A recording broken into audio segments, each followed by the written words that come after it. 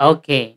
So our next task is to transfer what we have come up to Microsoft Word. But before that, let's fix let us fix things here. So pag kinapin natin, wala tayong magiging problem. Okay. So let's let's copy here the daily COVID-19 cases and then the frequency and the percentage. Okay? So, copy lang natin to. Let's widen the Okay. So, tatanggalin na natin tong CUCL. Okay. Just copy here. So, just type in na lang to. 209 to uh, 251. Okay. We have 252 to 290.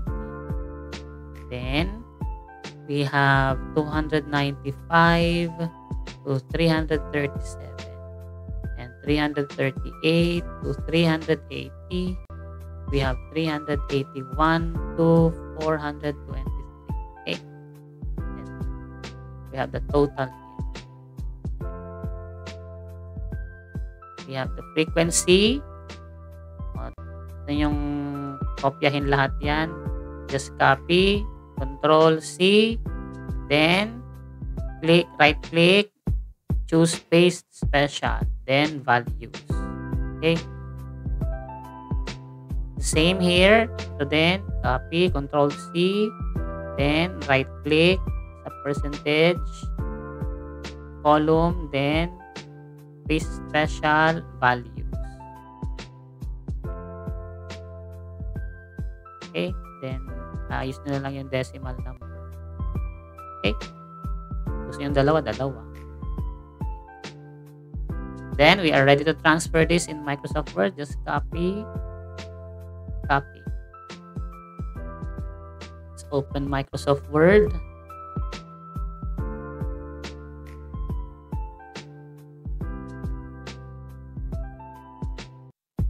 Okay, blank document.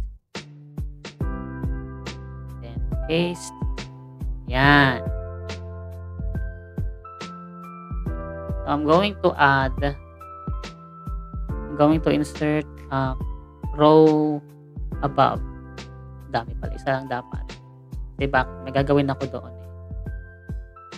Table properties muna tayo. Table properties, borders and shading, lahat natin lalagyan kasi yan nakalagay sa thesis ninyo, may borders. Then I'm going to uh, insert a row above. Kasi bakit? Diyan ko ilalagay yung title. Para hindi pag inedit ko yung word ko, hindi nawawala yung title. Borders and shading.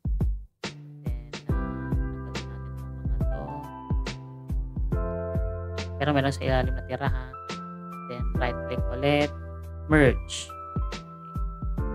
So, course, sa table, kailangan may title yan. Control E. Type natin. Control B, it should be bold table 1. Oh, diba? the daily reported case COVID-19 cases in the city of Manila. Okay, anong date? August 1 to 31, 2021. Okay? This one is center natin yan. Bold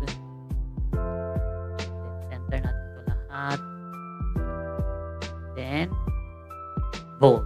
Okay? O, gusto niyo palitan ng, ano, ng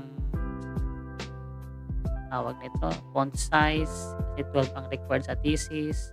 Sa school, ewan ko kung sa inyo, area lang usually. Depende yan sa eskwelahan. Okay. I-center natin to kasi center yan usually the thesis cell. Ah, sorry. Ito tayo sa alignment cell, center. Okay? At usually sa thesis, tandaan nyo itong ginagawa ko kasi gagawin nyo rin sa mga susunod na araw at pag may thesis na kayo. Layout, margins. Usually, custom margins. Anyways, may record naman tayo. Balikan nyo na lang. Left is 1.5. Okay. So, yan. Okay. Lagyan natin dito. Table. Oh, wait lang. 12 pa rin pala. 12 ang ating font. Arial is the font size. Font style. Okay, ito na. Let's interpret it and present it in text textual manner. Okay. As shown, bahala kayo kung paano nyo interpret yan. As shown in table 1, okay, among the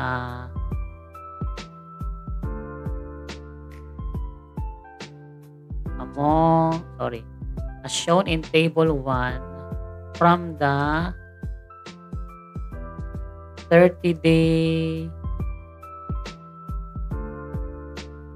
reported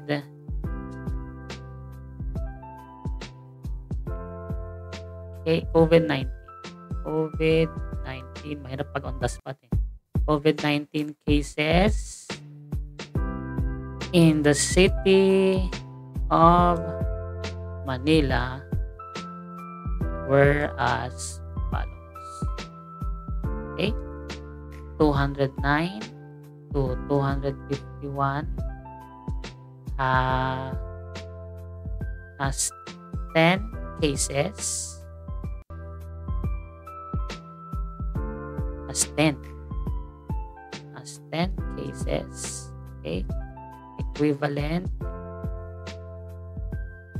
to 33.33 percent. 252 to 290 has three cases. O, kopyahin nyo na lang yan. O.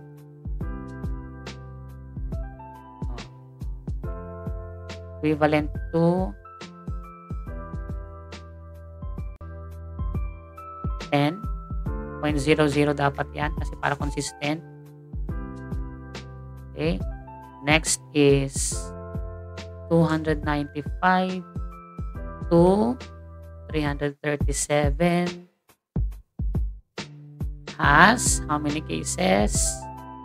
10 cases. Equivalent to cases